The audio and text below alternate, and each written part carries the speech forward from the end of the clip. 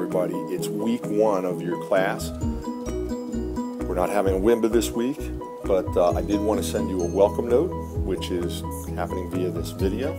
And this will also serve as your WIMBA session for the week so that you get a chance to get to know me, John Reneski, a little bit better, more up close and personal. Coming to you from Full Sail University, building number five. And uh, we've got a number of things to, to cover, so let's get started.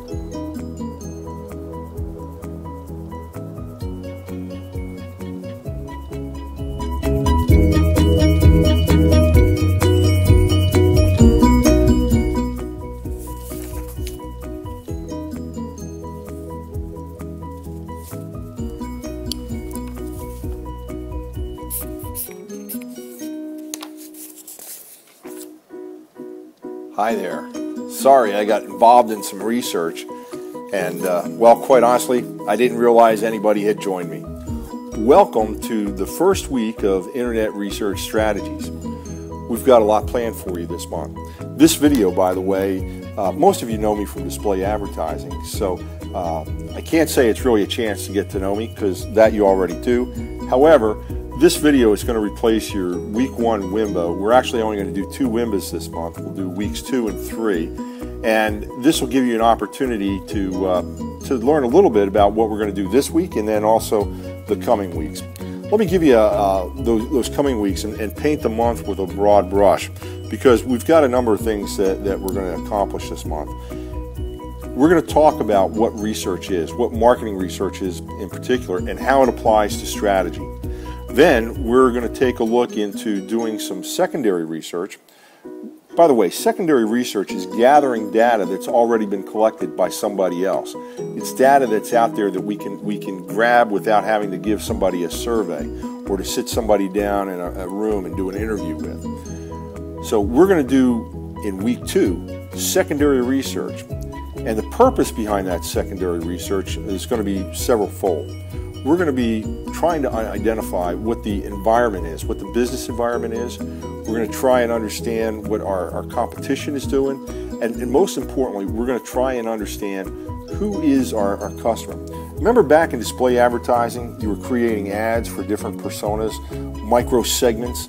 Well, the question is, where do you find those micro segments? And the answer is, you find those, those individuals and you determine those personalities through your market research.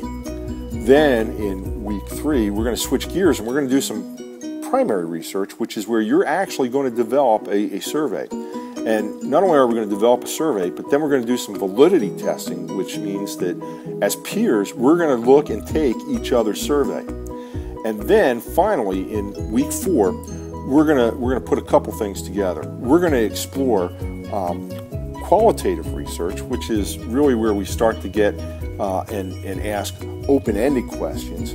We're gonna have you explore a, a internet phenomena, which is research panels, and then you're gonna put all your your information together from from weeks one through and one, two, and three, and you're actually going to put together a research proposal.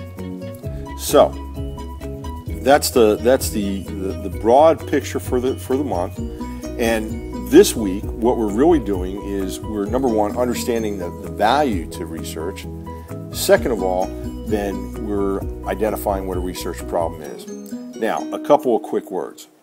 Remember, a research problem, and in particular, we're going to be looking for a marketing problem we want to identify something that, that we want to do but that we're currently not able to do from a marketing standpoint.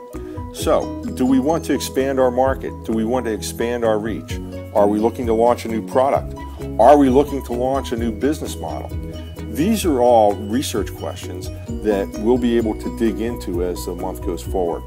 So, in your reading, there are a couple examples of, of research problems Take a look at those, see if any of those fit your particular situation, and if so, adapt it to your own personal needs.